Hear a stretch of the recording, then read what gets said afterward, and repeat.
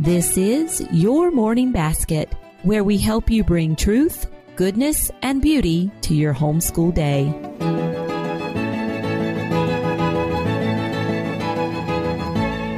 Hi, everyone, and welcome to episode 33 of the Your Morning Basket podcast. I'm Pam Barnhill, your host, and I'm so happy that you are joining me here today.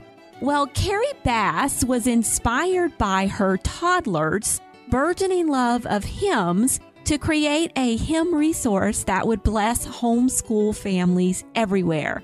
Looking for simple recordings of hymns that she could use to teach to her children, they created a website that now is available to everyone.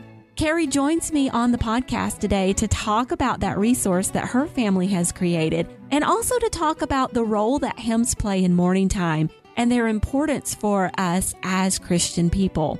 It was a wonderful conversation, and I think you're going to enjoy it. We'll get right to it after this word from our sponsor. Would you like to bring classical music into your children's lives? Add classical music to your morning time today with Maestro Classics. We have a special coupon code just for your morning basket listeners. Use the code PAM at maestroclassics.com to get 17% off even sales prices. These award winning CDs and MP3s feature storytellers Yadu and Jim Weiss, accompanied by the world famous London Philharmonic Orchestra. They perform dozens of titles like Peter and the Wolf, The Nutcracker, and The Story of Swan Lake. What makes Maestro Classic CDs so special is that each one contains an activity book for your children.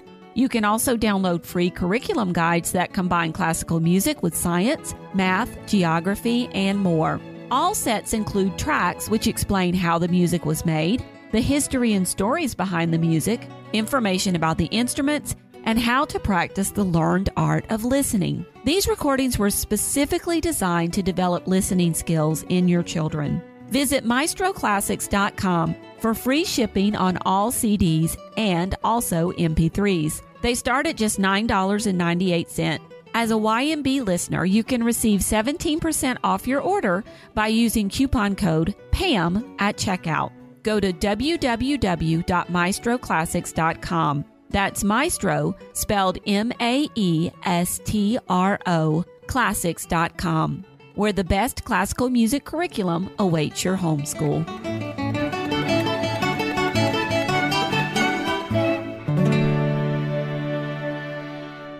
Kari Bass is a mother who homeschools her children in a classical education style strongly influenced by Charlotte Mason and the Ambleside online curriculum. Her three children are ages 6, 4, and 2. Kari has a baccalaureate degree in literature and a minor in piano performance. Before leaving the professional world to teach her children, she worked for medical and legal nonprofit organizations, and she teaches piano and is especially fond of the piano works of the Romantic artists.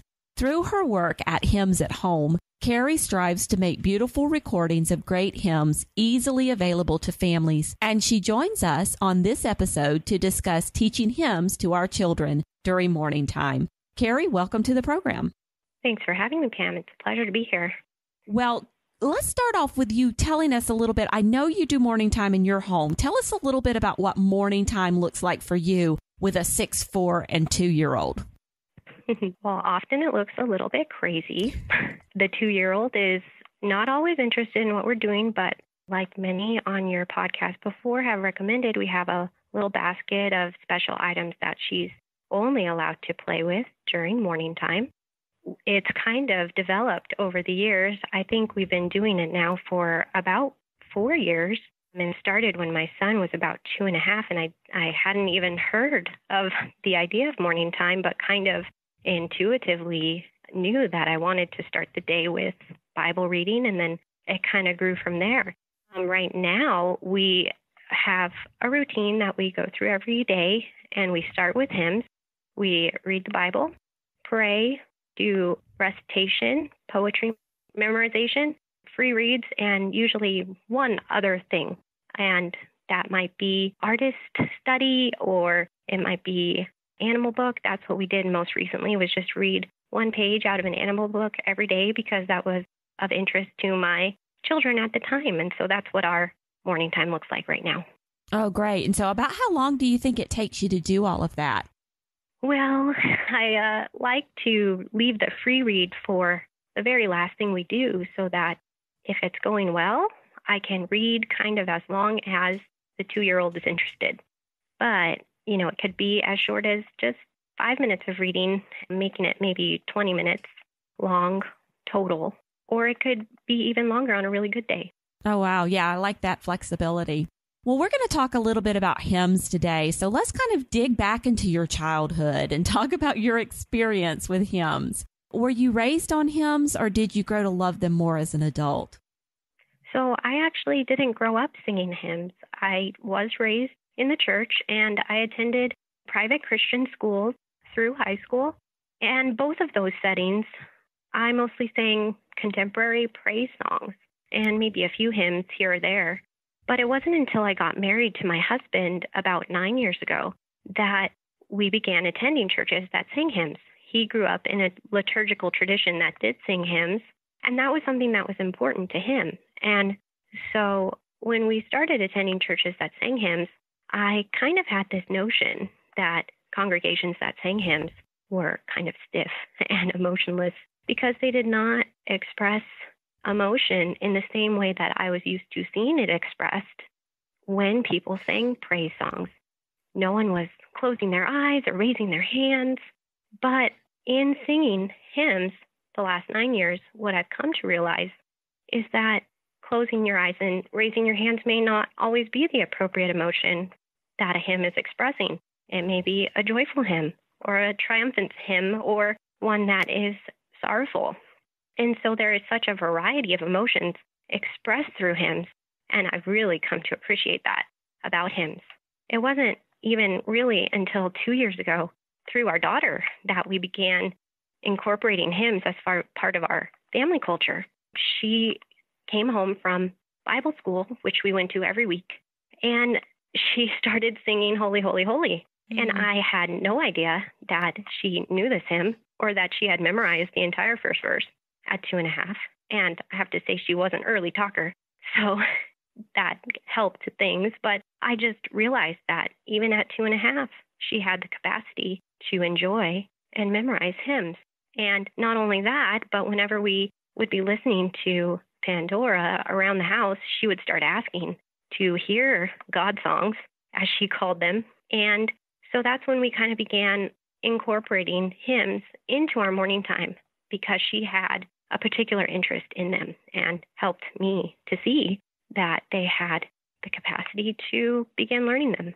Oh, that's interesting. And okay, so I want to touch on one of the things you said there. You said that you learned that the response for a hymn is not always, you know, closing your eyes and raising your hands. And it just got me to thinking about some of the hymns we use in the liturgy of our church. And you said some are triumphant and some are more sad. And, I, you know, I'm thinking to, you know, some of the liturgy around the Triduum in our church at Easter, and we have the Good Friday service, and just kind of the kind of low, mournful, repetitive hymns that we sing during that service that really, you know, it's almost like it's setting a mood there. And then, you know, you have these hymns that you do sing out really loud and really strong because they are more triumphant. And then you also have hymns that kind of encompass theology and there's a, a, deep theology in there. So that's very interesting about all the, I haven't really thought much about the fact that there are all these different purposes and responses to hymns. Exactly. And I think that's one of the great things about hymns is that they, through music, encourage us to right and proper emotion towards God and are expressing these deep spiritual truths that maybe we know in our minds, but that the music helps us to actually feel and really oh, deeply yeah. know. Yeah, yeah. The music helps us to feel. I love that. The music helps us to feel what we know in our mind. That's really, yeah, that's good. Well, let's talk about. So you came late to hymns. Do you have any favorites now that you've kind of developed in these past nine years since you started singing them? Oh, yes. And this is one of those hard questions like asking someone what their favorite book is. so I think I will share with you two of my favorite hymns. One general hymn, and then one Christmas carol because those are really in a genre all their own. One of my favorite hymns is And Can It Be, which is an important hymn in our family because seven years ago, when my son was born, he's our first child, I decided that I wanted to include singing a hymn as part of our sleep routine. And so I picked And Can It Be. It was just a hymn that I was recently enjoying at church. And as you can imagine, over the past seven years, I have sung And Can It Be innumerable times, putting our children to sleep. And they all know it as well because of this. But the more I sing it, the more I love it. And I think that's part of the beauty of hymns is that the more familiar we are with it, the more we enjoy it and the more it has to offer. And it doesn't ever become boring or stale. And and can it be I specifically enjoy because it is talking about a very important theological idea, salvation, but it's talking about it in a very upbeat and positive way. And there are many ways to deal with the topic of salvation. Amazing grace is expressing gratefulness. Christ our Lord has risen today is expressing mm. praise. Alas, and did our Savior bleed is expressing sorrow. But and can it be is a unique expression of praise because it's expressing wonder and astonishment that I should gain an interest in the Savior's blood. And it's very triumphant. And so I just think that is really unique. And that's why I enjoy this hymn so much. The Christmas carol that I really have come to enjoy a lot recently is In the Bleak Midwinter, which we recently recorded for Hymns at Home. And when I post a hymn on Hymns at Home, I always include information about the composer of the tune and the author of the text and some hymn history. So it's all right there. And when I began to collect this information, I didn't know anything about In the Bleak Midwinter, but I discovered that the text was written by Christina Rossetti, who is one of the selected poets for the Ambleside Online Year 2 curriculum, which my son and I are currently going through. And the composer of the tune is Gustav Holst, who is a 20th century composer famous for the planets. Mm-hmm. And so you have this talented poet writing the text, originally for a Christmas edition of a magazine, and a composer who is well known in the classical canon. And together, they're creating this hymn where the tune is just perfectly expressing the emotion of the text. And I think that in the greatest hymns, the tune is helping us to interpret the text. In this particular hymn, the text is talking about the nativity of Christ and that cold, bleak night on which he was born. And the tune is simple and bleak and still, and it so perfectly is paired together. And so, if we as classical educators value teaching our children poetry and we value teaching our children classical music together, we have that in this hymn. And that's not always the case, but it is in this case. No, I love that. Okay, I'm gonna. I'm not familiar with that one, so I'm gonna have to go over to Hymns at Home when we get off the call here and listen to that because now you have me totally intrigued. So.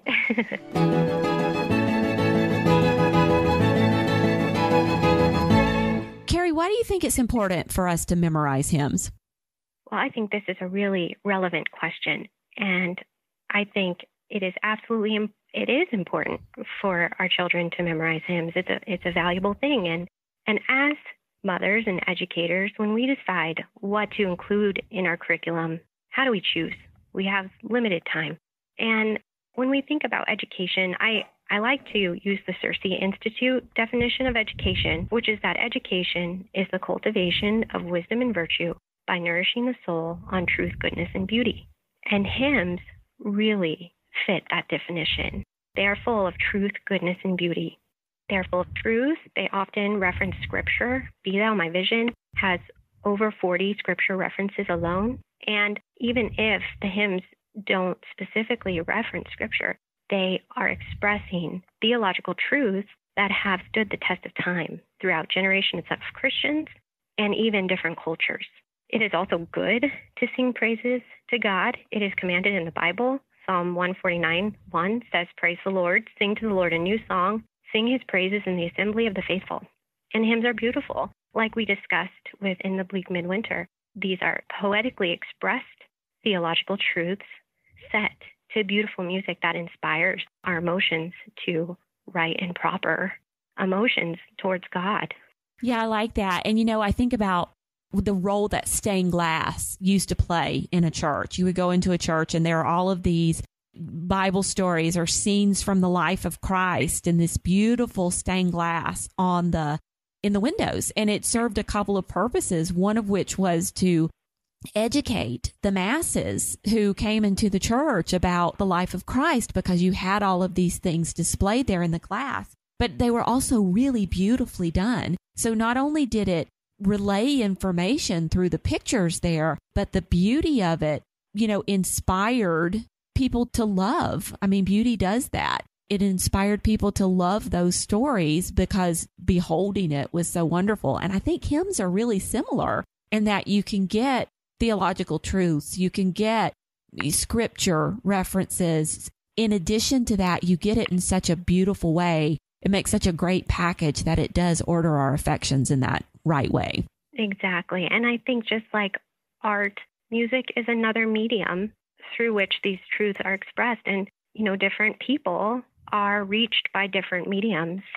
Particularly, my daughter loves music, and that's why I think hymns really speak to her. My son is more, you know, engineering minded, and so music doesn't appeal to him quite as much, but that's okay. But to specifically address not only why do we teach hymns, but why do we memorize hymns? I think that one of the reasons why is because we're helping to order their affections. And that these are concepts I want my children to internalize and to love. And when they experience situations in their adult life, they can recall these hymns and that they can be an encouragement and a comfort to them. This is what I want to furnish their minds with so that when, you know, they feel failure, they can recall blessed assurance Jesus is mine or Jesus lover of my soul or when they experience loss, they can be comforted by it is well with my soul or when they really are wrestling with the idea of who God really is, they can think, "Oh, immortal, invisible God, only wise." so I want to provide our children with this resource of the wisdom of hymns that will serve them later. Yeah, yeah, I agree. And then there's a great practical aspect too, because little kids, a lot of, you know, it takes them a while to learn to read. So if you think about your two and a half year old memorizing hymns, by the time she got to the age where she was reading, you know, your typical child, she's been able to sing a lot of hymns in church because she knew them. Exactly. And I think that's one of the ways in which memorizing hymns has impacted our family that our children, even before they can read, can participate in corporate worship and feel a part of the church family during church instead of simply being quiet. Yeah, yeah, I agree. And it does, it makes, it really does make them feel part of that worship or that liturgy because they are able to do that. And even once a child learns to read, a hymnal is not the easiest book to follow along in. So, or even teaching the hymns to our children, they're not going to understand every word. It's really funny to hear my then three year old say, pavilioned in splendor and girded with praise, which is one of the lines from O Worship the King. But it's okay if she doesn't completely understand it now. We're just planting seeds for when she will understand it later. Okay, well, that brings up another question I was going to ask you. As a rule, do you explain what the words mean in the hymn or the theology behind it when you introduce a new hymn for your kids to memorize? You know, my kids are quite young, so no, I don't. And I can't speak to what families with older kids would do. And that's one of the reasons why I do include hymn histories and background information on hymns at home.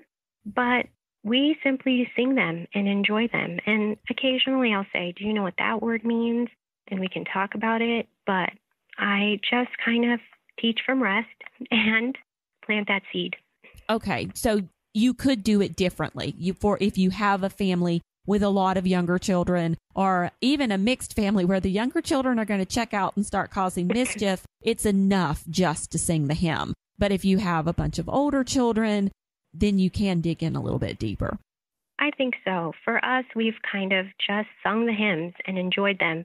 However, for my daughter, who's now four, who really enjoys hymns, we have delved a little bit deeper and done some things outside of morning time that are just fun with hymns. For example, I found a book on Amazon called Amazing Grace Illustrated Stories of Favorite Hymns by a hymnologist, Kenneth Osbeck. And it has illustrated stories of a really good selection of about 30 hymns. And so I ordered it. And when it came, we immediately sat down together and started looking at the pages. And I told her these were stories about God songs that we like to sing. And so she pointed to one of the pictures and she said, Mom, why is there a ship here? What is that?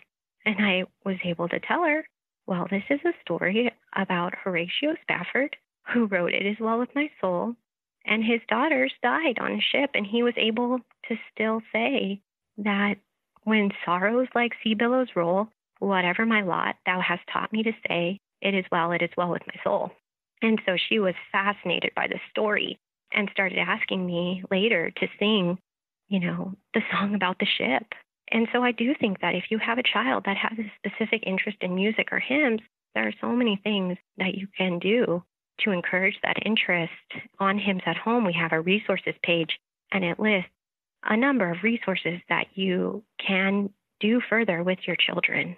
Okay, great. So it, you can add extra things to it. Well, let's talk a little bit. You kind of hinted at this just a minute ago that, you know, people might make the argument that old hymns are no longer relevant and the language is a little too archaic and lofty for children. What do you say to those people who are like, why do you do this with your kids and they don't know what the words mean?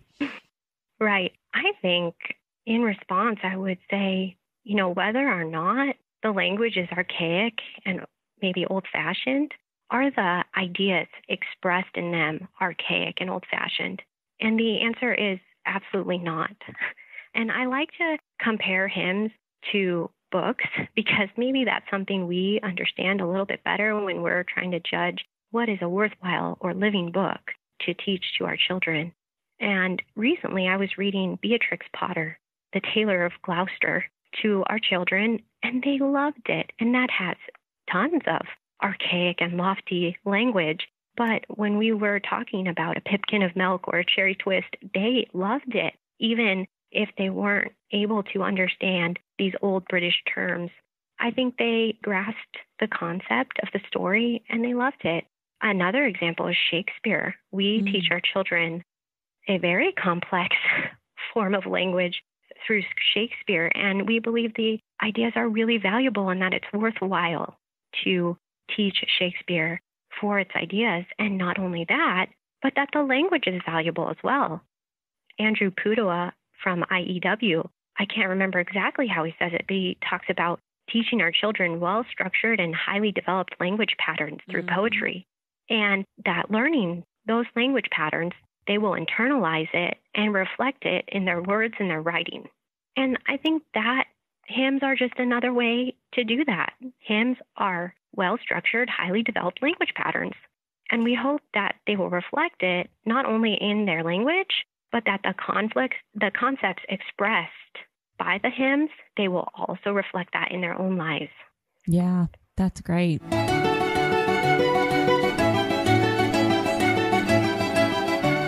Okay, well, let's get down to the nitty gritty of how to do this. So, first of all, let's talk a little bit about Hymns at Home. This is a website that you've started, and it's really a labor of love, isn't it?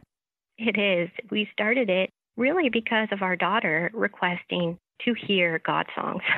And when we started searching for hymns online, what we found were kind of two different types of hymns.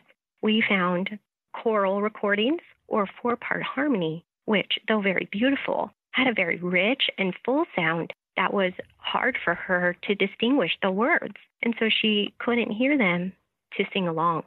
And the second type of hymns we found were recordings by Christian music artists that had done their own take or maybe interpreted the hymn through the music. And those were also hard because sometimes the music overwhelmed the voice and she couldn't hear the words to the hymn, which was really what she was looking for. And so when we were trying to find just simple, accessible recordings of hymns, we, we couldn't find them. And so we finally decided to put an example of what we were looking for out there because we thought if we want this resource, surely other families are looking for this resource too. And we do hope for it to be an example. We hope in the future that this will become a collaborative effort. We want it to become a searchable database of hymns that many people contribute to.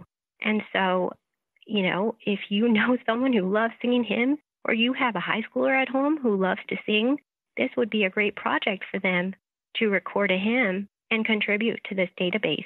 And the only piece of recording equipment that we used was an iPad. Okay. Okay. And so do you sing these a cappella or do you have an accompaniment to them? Because I know you play piano. I do. So my husband and I both have musical backgrounds, and that's how we met in college. And so he wanted to do this for our daughter. And he said, Well, Kari, why don't you sing and I'll play the piano? And I said, Me sing? no, I'm not a vocalist. I never have been. Any time I performed in a choir, I was playing the piano. But we really wanted to do it, if not only for our children. And then we decided that if we were going to do it, maybe it would be helpful to other families as well. Okay. And so, what can I find at Hymns at Home? What kind of resources do you have for me if I want to use this in my morning time?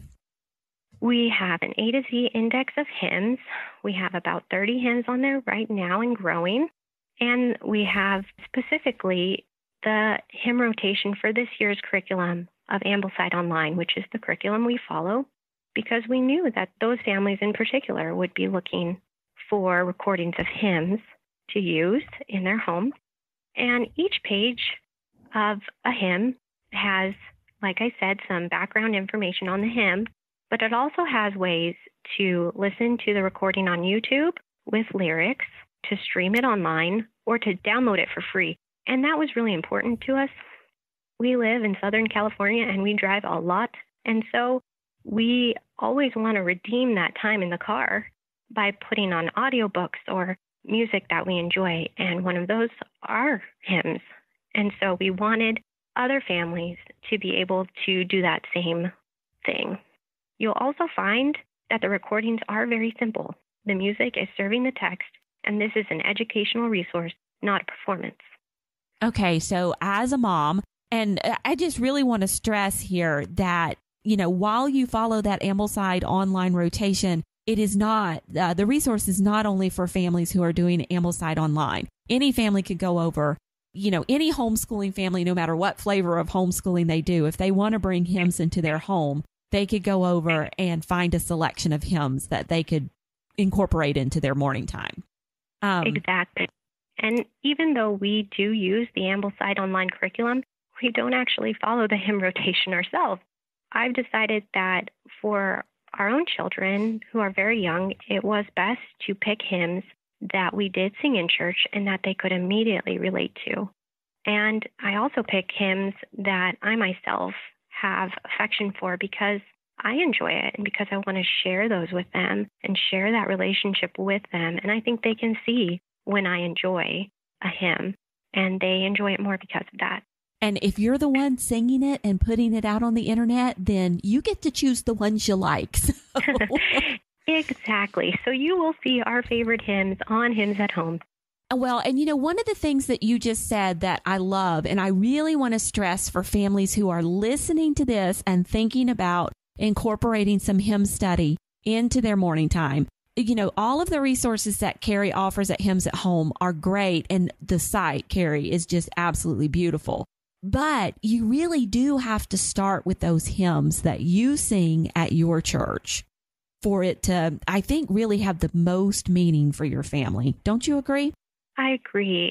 And I know this can be a problem if you don't go to a church that sings hymns. And so I think there are resources for those families because teaching hymns can still be valuable and meaningful for your family. And so if you don't have a church that sings hymns, I do have a couple of recommended resources that I think are helpful. Simply Charlotte Mason puts out a curriculum called Singing the Great Hymns that has a wonderful selection of hymns that you can choose from. Um, there are illustrated hymnals or resources that you can find. The one I mentioned earlier by Kenneth Osbeck, Amazing Grace Illustrated Stories of Favorite Hymns, is a good place to start.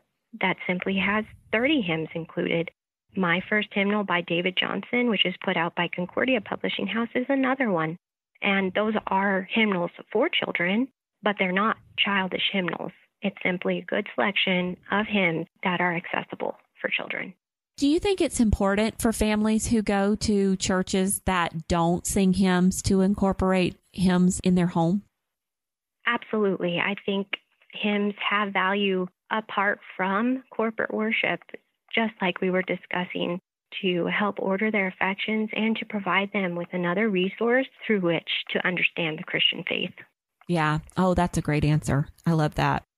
Okay, so if I want to introduce a new hymn to my kids in morning time, I'm getting off the call with you. I'm super excited tomorrow morning and I want to run down and introduce a new one. How do I do that? Well, first of all, it does not take that much time or energy. it takes us less than five minutes to do our hymns in morning time. And what the prep work that I have is simply selecting a hymn and printing out the lyrics. And you can do that by using a hymnal or you can print it from an online resource. Two really good ones are Cyber Hymnal and Hymnary. Cyber Hymnal uses complete text of hymns, as in all 18 verses of for a Thousand Tongues to Sing. And Hymnary uses a more condensed version of verses that a variety of denominations use, and they actually have images of public domain hymnals that you can print out. If you can read music, then you can follow along with that. When we do hymns in our morning time, I'm always teaching a new one and reviewing one that we've already learned. And we simply do one new hymn a month and one verse each week. So that only means we do four verses of a hymn, which sometimes is not the entire hymn.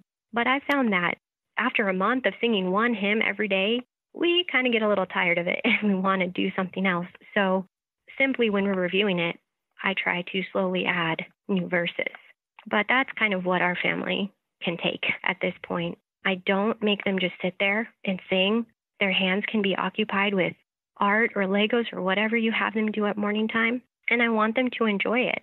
So I've found that if I get too precise on did we memorize every word of the hymn, we all start to enjoy it less. But if I simply sing it through once and let that be it, they actually learn a lot more than if I am pressuring them.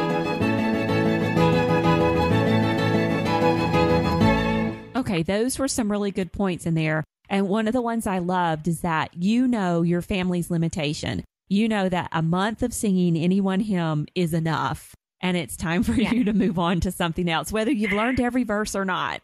Exactly. And so for many, that means we only know the first four verses, but I think for now, at, at these ages, that's enough. Yeah, yeah, that's awesome. And then, so when you do the review, you said any given month you're learning one new hymn and you're reviewing an old hymn. And so you just kind of have all of those old hymns stored in a binder and you rotate through which one you're going to review each month? Exactly. I actually review a new one every day that we've done in the past. Oh, okay. Okay, so every and, day is the new hymn you're working on, and it's the current verse. So let's say week one of the month, you're doing the first verse of the new hymn, and then every day you're also doing one review hymn. And then the second week of the month, you're doing the second verse of the new hymn and also one review hymn, one new review hymn every day. So is that the pattern? I actually had not thought of it, but that sounds like a wonderful way to do it. We actually review a different hymn every day. And but I think that there is a lot of flexibility with families and what they find works for them. So I'm going to try that, Pam. Okay, well, just keep those old hymns in review rotation, however you work that out. And the wonderful thing about the world of homeschooling is six months from now, somebody's going to leave a comment on the show notes for this post and they're going to tell me some fabulous idea that they do. And it's going to be like, wow, I never, I never thought of that. So that's great. Yes, exactly. Okay, so what kind of tools do I need in my morning basket in order to do hymns? Do you keep an MP3 player in there, some kind of speaker, or not at all? Well, it really depends if you're high tech or a low tech. And our family, it's definitely low tech. So all I use is the printed out lyrics and my voice. And and I teach from there. But for high tech families, I have heard from other moms that they use the hymns at home recordings streaming online to actually teach the hymns. And I think this is a great option for moms who may not feel confident in themselves singing the hymns or may not even be familiar with the hymn themselves but really want to learn it. And I think, you know, as Charlotte Mason says, education is a life. And that can be showing our children that we're learning right alongside them and we're learning it together and enjoying it together. And so, definitely, I think having the printed out hymns that your family has learned in a folder or binder for easy tracking is something you would want in your morning basket. And whether or not you want to stream it would be up to you. Right, right. Yeah, we would probably stream it just because I would like to have the music to go along. Okay, so there are going to be people out there, I can hear them now, who cry out in the wilderness, We can't sing. What do you say to those people? I would say exactly that we're learning together and that if we can show our children that even if we're not confident in our voice, that we still believe singing hymns together is important, then that is the important lesson. Not that our pride keeps us from singing because we're not confident in our voice, but that we believe this is important enough to do together that I'm going to show you my voice. and just to teach confidently. And if, if using the hymns at home recordings to lead that hymn time is a helpful resource, then I'm so glad that we can help provide that. Yeah, I think that's a key probably for a lot of people who are a little more apprehensive about trying to lead singing and, you know, having a resource like hymns at home to kind of lean back on and help them along with that is going to be a big confidence builder for them and allow them to enjoy hymns in a way that they might not have otherwise been able to do that. So that's great.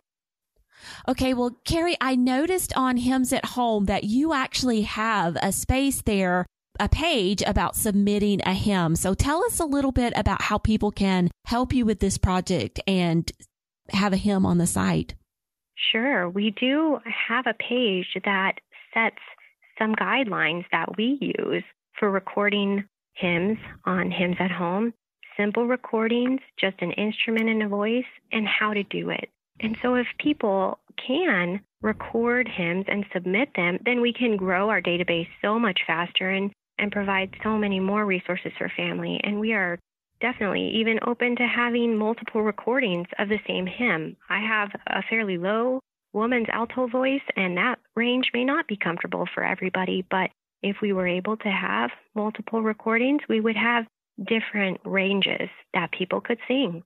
And so, if you want more information about that or know someone who would be just perfect to record hymns, please contact us. Send them the link to our website.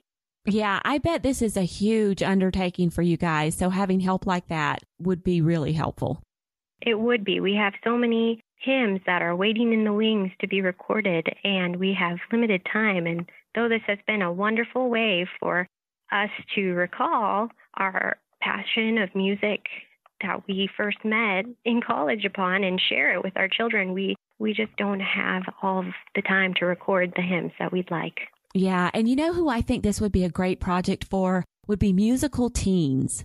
You know, that would just be a really good project for them to record a couple of hymns for your site because it would help them with their performing and they would learn a little bit about recording and it would be a service project as well. So moms out there with musical teens, turn them on to Kari's site here and see if we can get a few more hymns up there for them.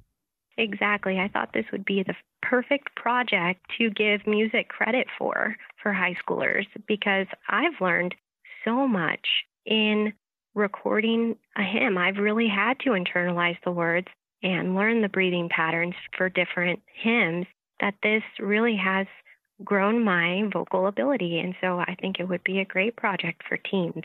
Yeah, awesome. Well, Kari, thank you so much for coming on today to talk to us about hymns and their importance and the work that you're doing at Hymns at Home. And tell everybody where they can find you online. Sure. They can find Hymns at Home at hymnsathome.com. And all the resources we talked about today are right there. Pretty easy. And we'll include links to everything in the show notes as well. Well, Kari, thank you so much. Thank you, Pam. And there you have it. Now, our basket bonus for this episode is a printable tracking sheet for the hymns that your family has learned. You can print out this attractive sheet, put it in your morning time binder, and it'll allow you to keep a record of all the hymns you've learned. And it even has some spaces there for you to help you with your review of your hymns as well. Now, you can find that at the show notes for this episode. Those are at pambarnhill.com forward slash YMB33. There you can get the basket bonus and plus links to Hymns at Home and all of the other resources that Kari and I chatted about today. Also, at that location, there are some instructions there for you if you would like to leave a rating or review for the Your Morning Basket podcast on iTunes. The ratings and reviews that you leave on iTunes help us get word out about the podcast to other listeners. And so we really appreciate it when you do that. We'll be back again in a couple of weeks with another great morning time interview. Until then, keep seeking truth, goodness, and beauty in your homeschool day.